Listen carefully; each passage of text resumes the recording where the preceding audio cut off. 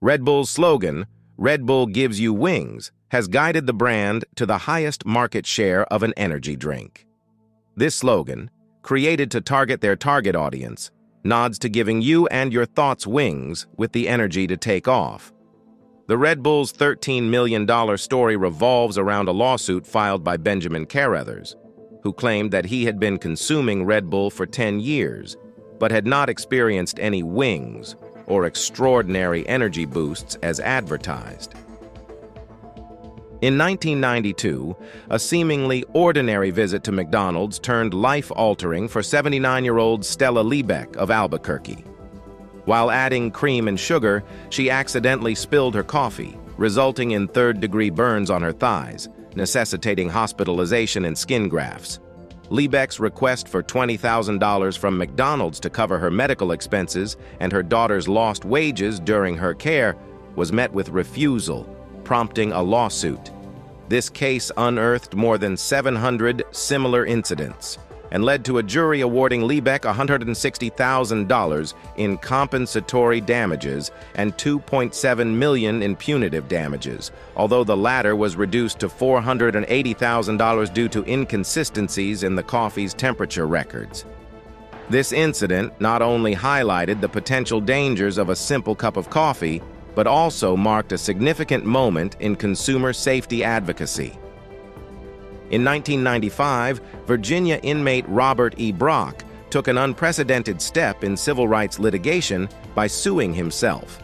Crafting a seven-page lawsuit, he claimed a violation of his religious beliefs, demanding $5 million in self-imposed damages. This bizarre claim was linked to a 1993 incident where alcohol led Brock astray from his moral compass.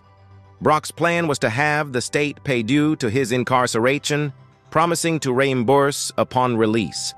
Despite his novel approach, the lawsuit didn't stand in court. Judge Rebecca Beach Smith dismissed it, but not without acknowledging Brock's inventive legal strategy. This peculiar case, weaving self-accountability with a twist of legal creativity, remains a curious footnote in the annals of judicial history. In 2016, Frederick Desnard made headlines with a unique lawsuit against his former employer, Interparfums, for 360,000 euros, citing extreme boredom at work as a descent into hell. After eight years with the company, Desnard claimed that the loss of a major contract led to his neglect and subsequent health issues, including epilepsy and ulcers. This situation resulted in a lengthy sick leave and his eventual firing.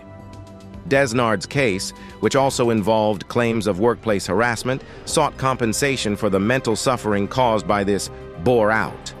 The case, spotlighting workplace understimulation, reached a labor tribunal in Paris.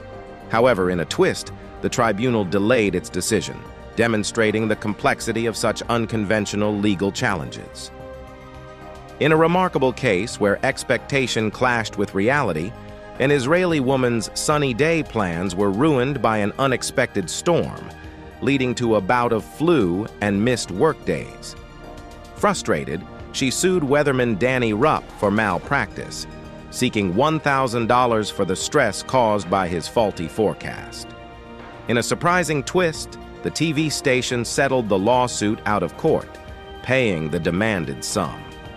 Adding a personal touch to the resolution, Rupp even issued an apology, marking a rare instance where a weather prediction sparked a legal dispute, blending the unpredictability of weather with the complexities of law. In a bizarre twist of legal reasoning, Sir Giorgio Sanford Clardy, serving a 100-year sentence for a violent assault, sued Nike for $100 million. He claimed the company should have warned consumers that Air Jordans could be weaponized, following an incident where he severely injured a man with his sneakers. Nike's defense argued that the shoes were not inherently dangerous when used as intended. During a tumultuous 24-minute hearing, the judge denied Clardy a free attorney and struggled to maintain courtroom order. Ultimately, Nike triumphed, but not without incurring over 1,400 in court fees, underscoring the unforeseen complexities and expenses in legal battles even when the claims seem outlandishly clear-cut.